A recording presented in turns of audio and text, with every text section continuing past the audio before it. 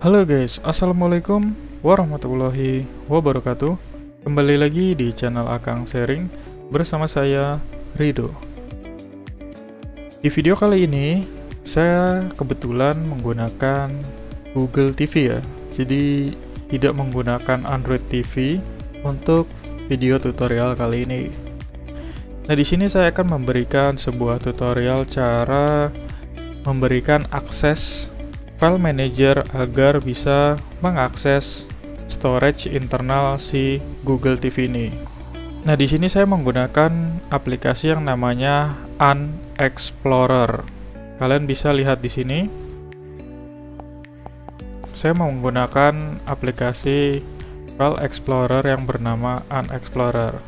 Nah, file manager Unexplorer ini jika kalian baru mendownloadnya itu akan seperti ini ya kalau untuk di Google TV jadi kalau kalian bisa lihat nih di internal storage-nya itu minus 8% atau 5,8 GB free. Kalau diklik OK nah ini.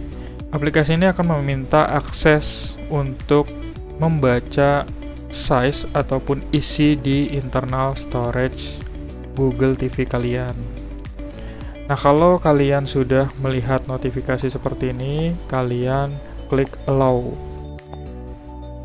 Nah, kemudian nanti akan ada notifikasi floating seperti ini nih.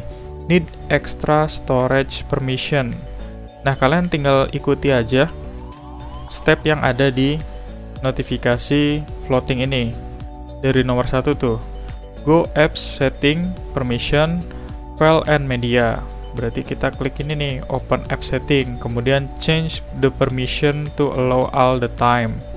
Dan yang ketiga yaitu allow the prompt to give extra permission to access storage. Seperti itu. Oke kita masuk ke nomor satu ya. Kita ke open app setting. Kemudian kita pilih yang ini nih. Permission. Kita klik OK kemudian kita pilih allow. Nah file and medianya tadinya kan allow ya. Nih yang di tengah ini. Jadi allow only while using the apps. Jadi kita akan memberikan akses saat kita menggunakan aplikasi ini. Tapi kalau kita pilih yang ini yang atas allow all the time. Jadi saat si aplikasi ini tertutup juga dia bisa membaca internalnya. Jadi nggak perlu minta izin lagi ke kita untuk akses internal storage Google TV kalian. Ini klik allow aja.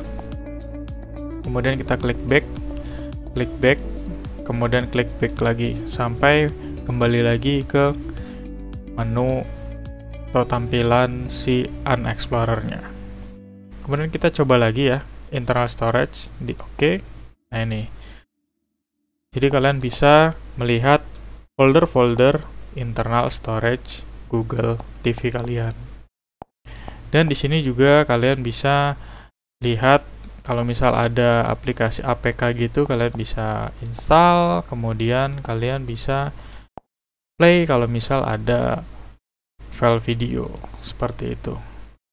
Oke, cukup sekian tutorial Kali ini jangan lupa like, komen, dan subscribe untuk mengembangkan channel Akang Sharing. Wassalamualaikum warahmatullahi wabarakatuh. See you next video.